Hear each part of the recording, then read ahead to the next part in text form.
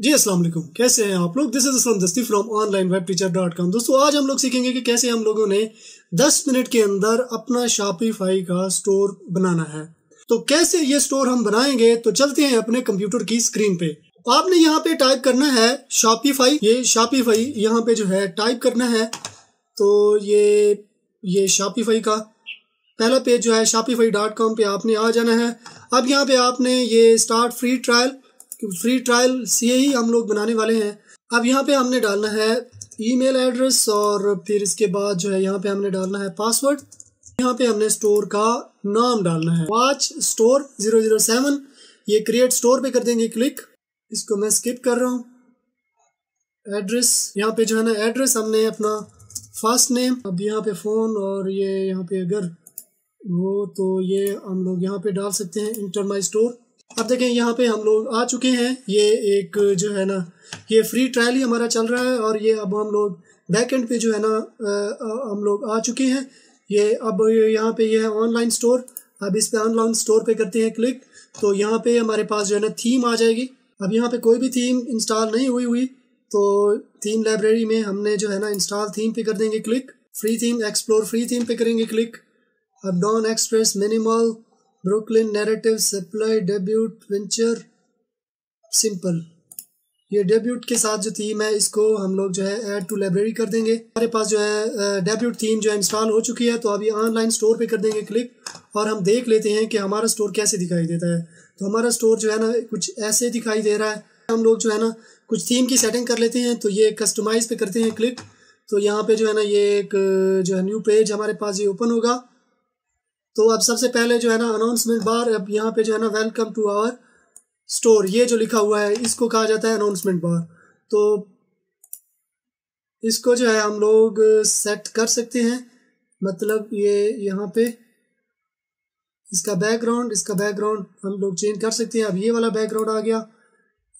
ये ये वाला बैकग्राउंड आ गया। कोई भी बैकग्राउंड आप यहाँ पे सेट कर सकते हो।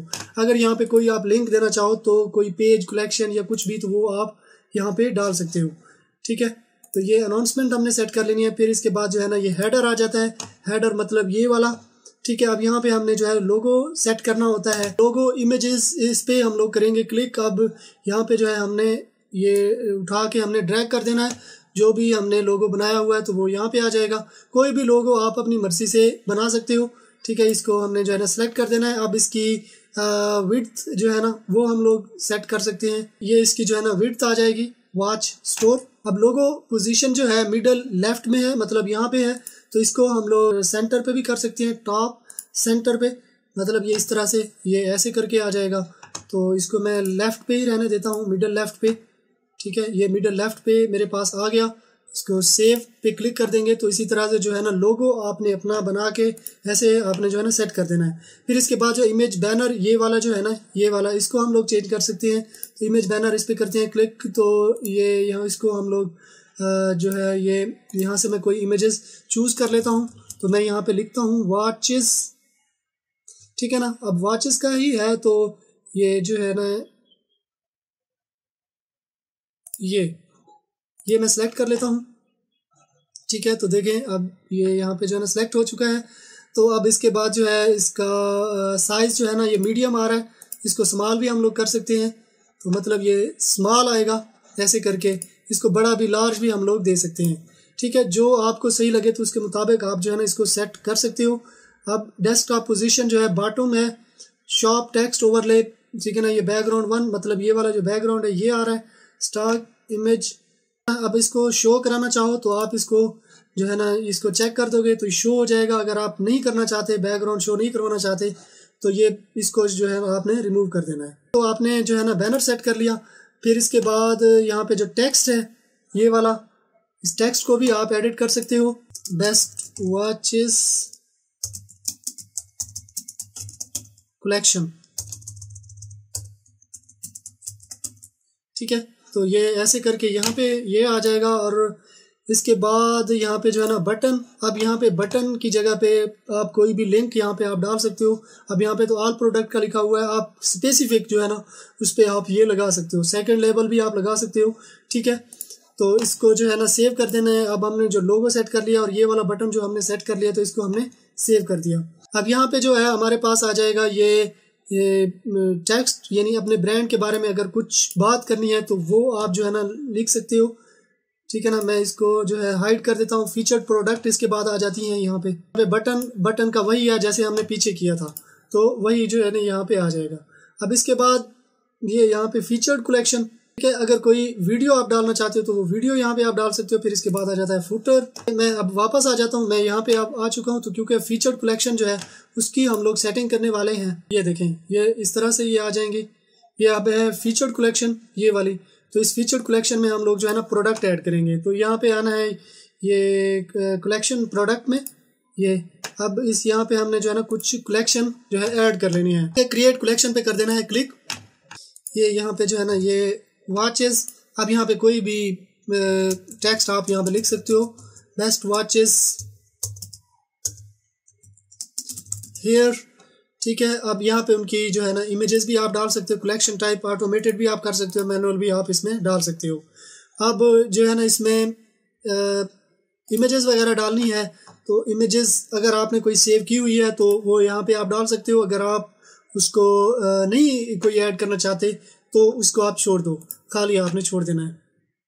ठीक है?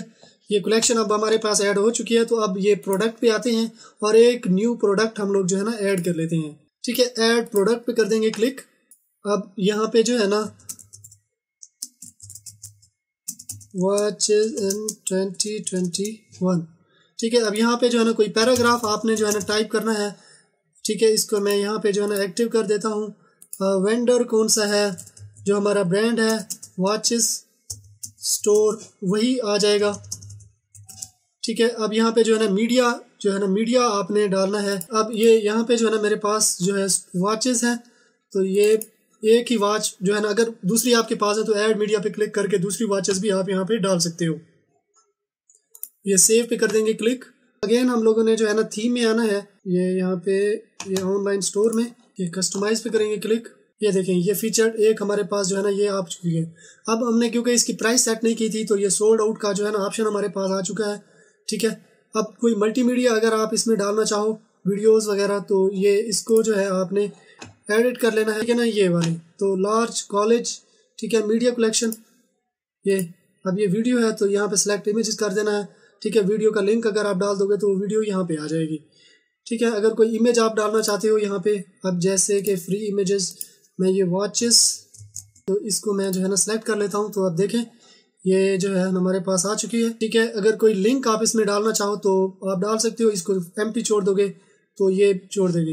अगर कलेक्शन नेम यहाँ पे कलेक्शन का नाम आ जाएगा, और यहाँ पे जो है ना प्राइस आ जाएगी।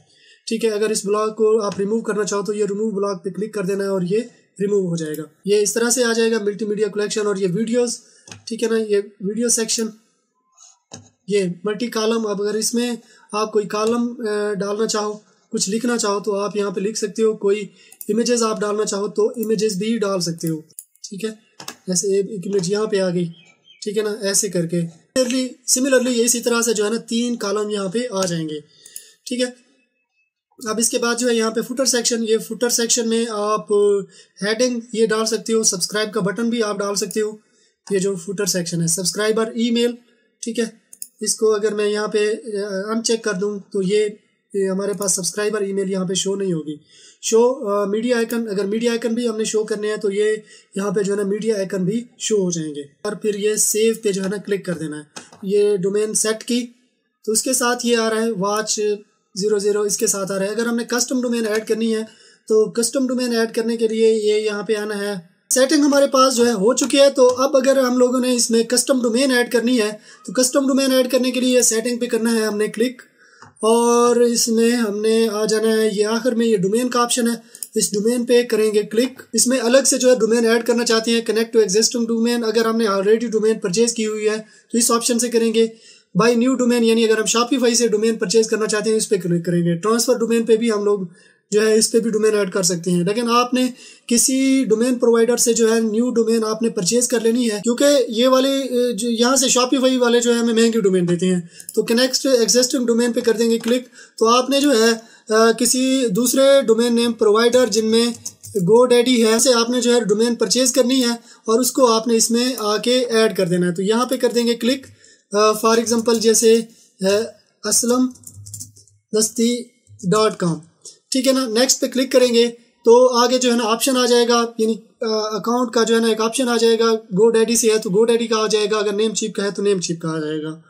अगर ये डोमेन आपने ऑलरेडी जहाँ से परचेज किया है तो वही ऑप्शन आपके पास आ जाएगा। अगर आपने परचेज नहीं की तो यहाँ पे ऑप्शन आएगा कि यहीं से आप जो है न्यू डोमेन परचेज कर सकते हो। तो जैसे मैं नेक्स्ट पे क्लिक करता हूँ, अब देखें ये डोमेन क्योंकि परचेज नहीं हुई हुई तो इसलिए जो है ना, चौदह डॉलर पर ईयर के हिसाब से जो है ना, ये, आ रहा है। अगर आपने परचेज की होगी तो यहाँ पे गो डैडी का जो है ना, एक, या नेम चीप का जो है ना, जहाँ से आपने डोमेन परचेज किया तो वो ऑप्शन आ जाएगा। तो इसी तरह से आपने अपना स्टोर बना लेना है। अगर आपने इस तरह का स्टोर मुझसे बनवाना है तो डिस्क्रिप्शन में मेरा नंबर दिया गया है और यहाँ ऊपर पर स्क्रीन पे भी शो हो रहा होगा तो आप मुझसे रब्ता कर सकते हो। अगर मुझे आप फाइवर पे हायर करना चाहते हो तो डिस्क्रिप्शन में मेरा फाइवर की प्रोफ़ाइल दी गई है तो आप वहाँ पे भी आप मुझे हायर कर सकते हो।